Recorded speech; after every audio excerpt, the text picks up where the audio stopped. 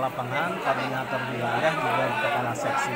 Nanti kita atur lagi agar tadi para pelaya eh, petugas layanan operasi juga bisa dilakukan eh, pelatihan yang, yang seperti ini. Tapi jangan lupa para petugas layanan operasi pun juga mendapatkan pelatihan yang sudah kita lihat di JIEP ya.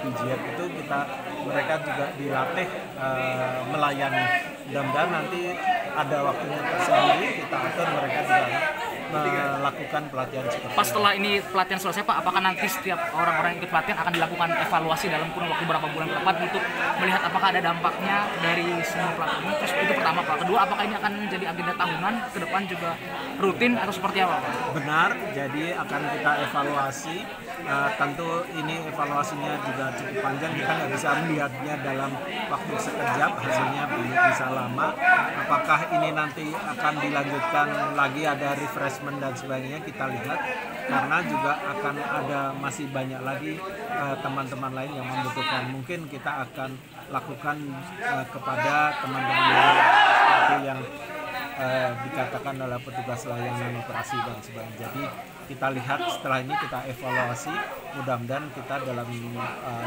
waktu tidak akan lama sudah bisa menentukan eh, step berikutnya. Pak, Raja, Pak, bus, bus Raja kan tahun ini kan memang cukup banyak eh, terkena beber- beragam kasus Pak ya, dari mulai supir yang eh, terlibat beberapa kecelakaan di sepanjang tahun 2022. Nah, apakah peristiwa itu juga menjadi eh, buntut dari diadakannya pelatihan ini Pak? Seperti?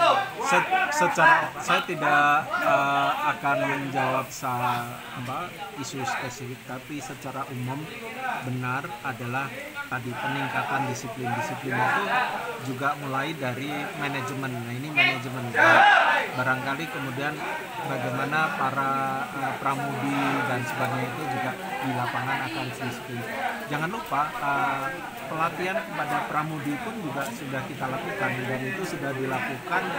Saya kira hari ini per hari ini sudah hampir selesai. PLO yang 3.970